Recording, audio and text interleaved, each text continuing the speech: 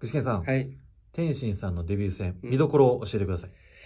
やっぱりね、あの、ボクシングの選手になりましたから、やっぱりリズムとこの足のフットワーク、足ね、足大事ですよ。はい。明日楽しみですね。はい、楽しみですね。